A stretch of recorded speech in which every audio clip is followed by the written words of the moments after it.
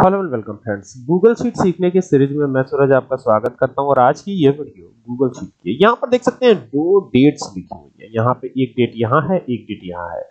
तो ये जो है, आपकी है स्टार्टिंग डेट क्या है ये? स्टार्टिंग डेट है, ठीक है? यहाँ लिख भी दे रहा हूँ मैं स्टार्टिंग डेट ठीक है?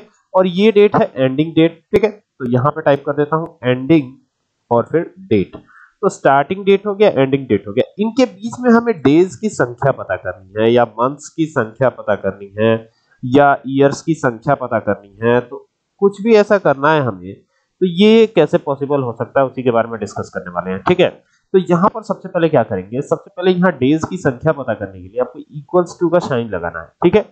और यहाँ पर एक फॉर्मूला आता है डेट डिफ का, ठीक है? तो यहाँ पर लगाइएगा डेट और फिर देखिए नीचे आ रहा है डेट ठीक है? तो ये आ रहा है डेट डिफ तो डेट डिफ लगा लीजिए।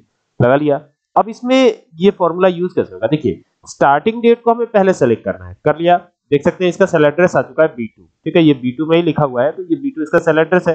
ठीक है? फिर क्या करना है? कॉमा लगाना है। कॉमा लगाने के बाद क्या करना है? एंडिंग डेट को आपको सेलेक्ट करना है। ये आपको एंडिंग डेट दिखाई दे रहा होगा। बस इसी को कर लीजिए सेलेक्ट तो ये सेलेक्ट कर लिया। अब क्या करना है? अब यहाँ पर कॉमा लगाना है और डबल डेट कॉमा ओपन कर लेना है, ठीक है? हमें इन दोनों डेट्स के बीच में दिनों की संख्या चाहिए या महीनों की? चलिए महीनों की संख्या पता करते हैं। तो यहाँ पे मैं लिखता हूँ एम एक बार एम लिखा डबल डेट कोट्स को क्लोज किया और फिर अब करने वाला हूँ एंटर ठीक है? तो ध्यान दीजिएगा।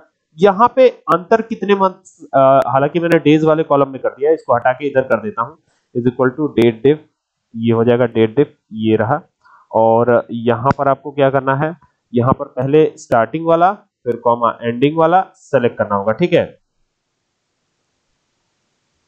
तो यहाँ पर ये स्टार्टिंग हो गया और यहाँ पर ये एंडिंग हो गया, ठीक है?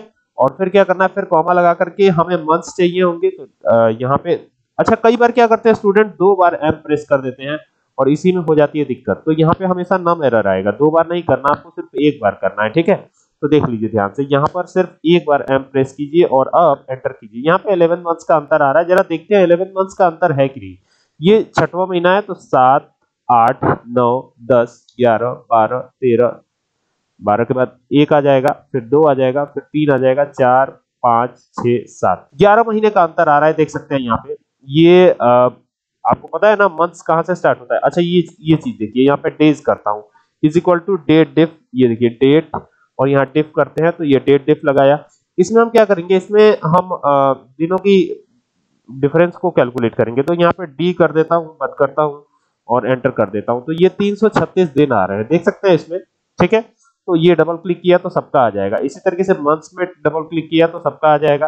ग्यारह ही महीने का डिफरेंस है, ठीक है? देख सकते हैं, सब में ग्यारह महीने का डिफरेंस आ रहा है। यहाँ देखिए, ये छह है, ये सात है, ये आठ लेकिन यहाँ पर देखिए स्टार्टिंग में जो है सिर्फ़ सिक्स सिक्स सिक्स दिख रहा है। तो यानी स्टार्टिंग वाला क्या है? हमारा मंथ है। और सेकेंड वाला क्या है? डेट है। फिर क्या है? ईयर है।